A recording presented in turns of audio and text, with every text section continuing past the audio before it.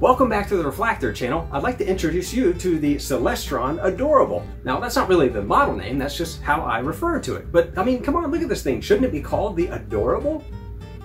Actually, this tiny telescope is called the Celestron CO62, and that's because the front lens is 62 millimeters in diameter. But when I tell you the full name of this telescope, you'll be able to tell exactly when it was made. Are you ready? Here we go.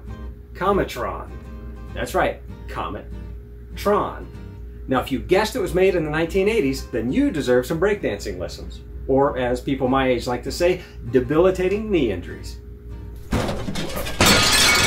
The Cometron comes with this really cool carrying case that has a clear window on the front. Now, I really don't know the purpose of that clear window other than to tell you that there's a telescope inside as opposed to my jar of unfulfilled dreams.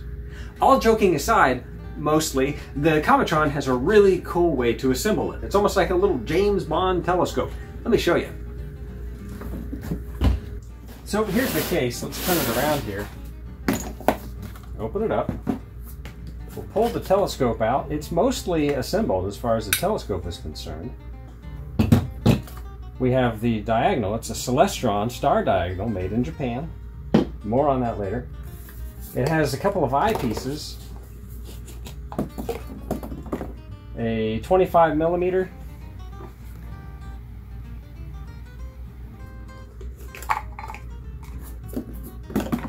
and a 9 millimeter. Now these are both of the volcano top style. That's a new term that I've learned.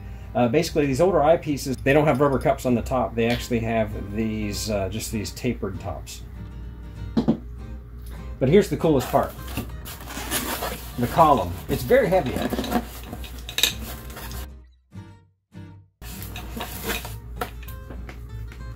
Let's get this out of the way. Now, what's interesting about this is that this handle is very, very heavy. This is a counterweight. So I'm going to show you how this goes together. The three legs are actually hidden right here in basically the vertical shaft of the telescope.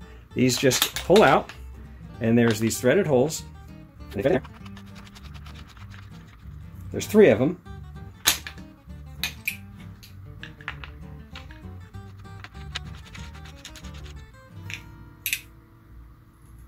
Last one. They have these rubber feet, so you can put these on a table or you can put it uh, right on your car. Then you take the telescope, which has a quarter 20 thread. There's a little screw right there. Look at that. This counterweight is really nice. It does a good job.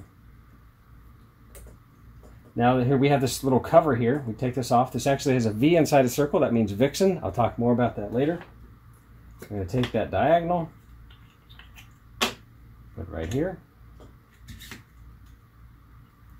And let's go ahead and put a 25 millimeter eyepiece in.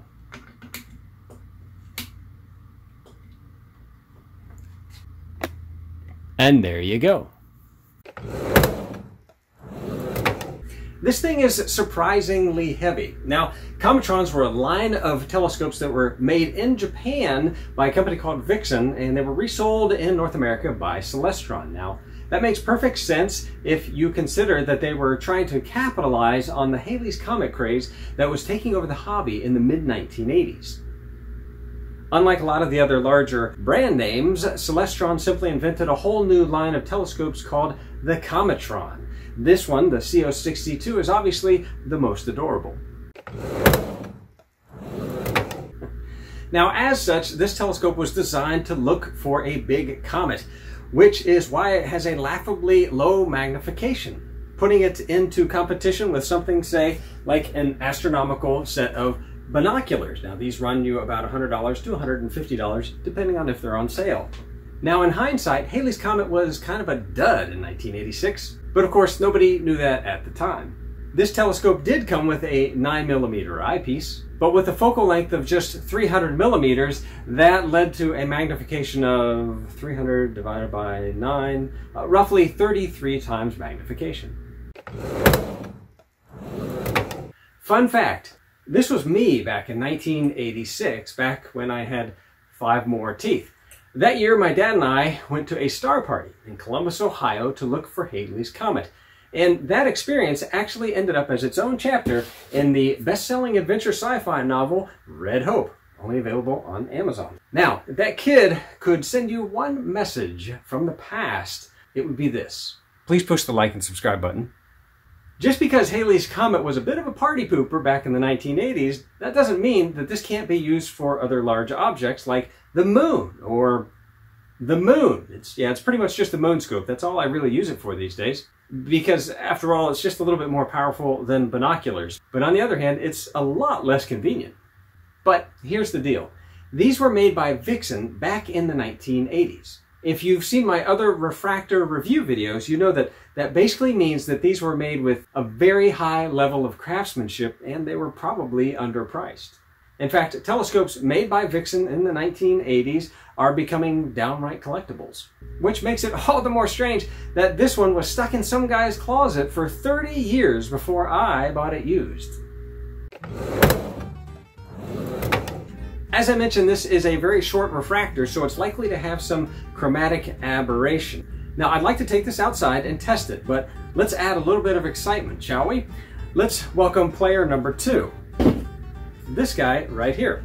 This short refractor telescope I bought at Goodwill for just $4. It also has a short focal length of roughly 380 millimeters, so it's slightly longer than the Cometron.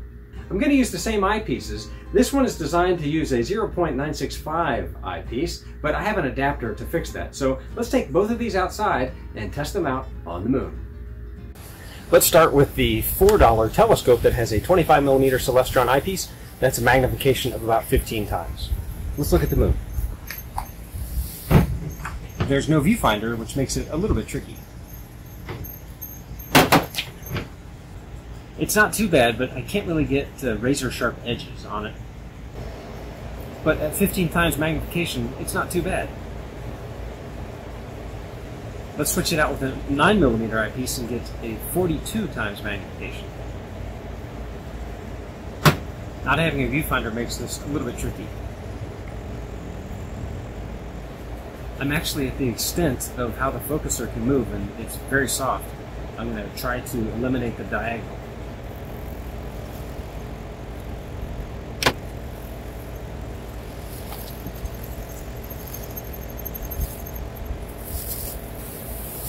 It about as focused as I can get it with a 9mm. That's a magnification of about 42, but it's actually uh, pretty pretty blurry, unfortunately. And when I let go, it tends to fall down under its own weight. Let's switch to the Cometron. Let's try the 25 millimeter eyepiece and get a magnification of about 12 on the Cometron. This has a viewfinder, which makes it really easy.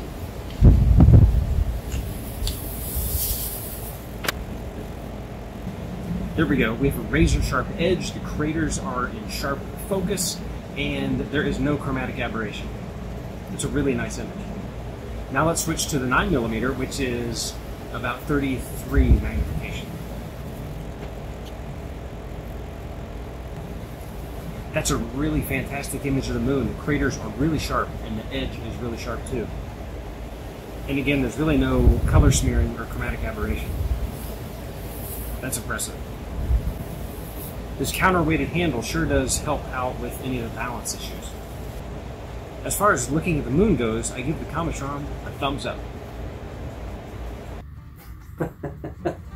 All right, let's do a quick summary on this Goodwill Saturday Night Special telescope. You know, if it weren't for the weight of this nice eyepiece, I think the wind would have blown this away. It doesn't turn on the azimuth, which is kind of frustrating, and the weight of the eyepiece actually drags it down. It overcomes the friction joint. Now, I will say, you know, for the cost of $4, the moon was uh, actually okay. It wasn't razor sharp and there was plenty of chromatic aberration in it. But if your budget is just $10 and you have access to some of those 0.965 uh, pretty cheap eyepieces, then I would say that, you know, this might be pretty good for a $10 budget. Now let's review the star of this video, the Celestron CO62 Cometron. It's heavy, it was made by Vixen, it was made in Japan in the 1980s. It's pretty cool. It had razor sharp edges on the moon and it had very little chromatic aberration. If there was an award for the most adorable telescope, then this robot looking little guy would win first place. Now, aside from being a pretty good moon scope, I really don't have much of a use for this. I guess you could use this as a ground spotting scope as well. But then again, this little guy may have the last laugh when Halley's Comet returns in 2061. Now, by the way, if you like this video, I have other reviews of other Vixen-made Japanese refractor telescopes. But until then, thanks for watching and clear skies, everybody. Oh yeah, I have a couple of announcements. You know, I'm a little bit behind the times, but I have started a Twitter page for this channel. Uh, you can get to it by going to twitter.com slash reflactorguy. Uh, somebody else registered Reflactor and they didn't do anything with it. I don't understand that. But anyways, twitter.com slash reflactorguy. I'll try to post pictures from the making of each of these videos. They could be a lot of fun. And of course, lastly, I haven't published any videos in the past few weeks, mainly because it's been insanely warm here in Texas, uh, reaching 108 almost every day, sometimes 112 at one point in time, and it gets too hot for the workshop here. My camera kept overheating and then shutting